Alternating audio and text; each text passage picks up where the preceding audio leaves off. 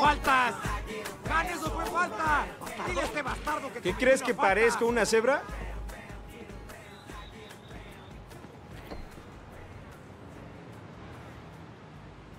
¿Y cómo llegaste hasta aquí? ¿Recuerdas las películas de vaqueros? Donde los malos huían a la frontera. Este es mi México. ¿Por qué me dejaste correr tu auto? Sabías que lo dañaría. ¿Por qué no? Porque cuesta mucho.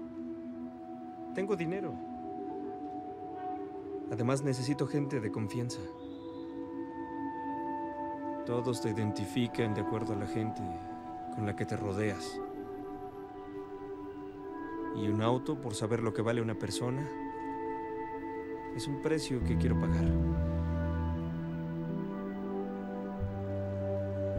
Asómate, ve a esas personas. Siguen las reglas para qué. Dejan que el miedo los domine. ¿Qué pasa si no las tomas? La vida es simple.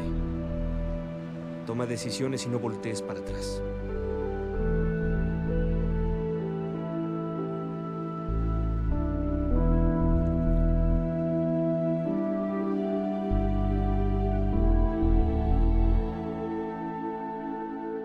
Si no corres para ganar, entonces ¿para qué hacerlo?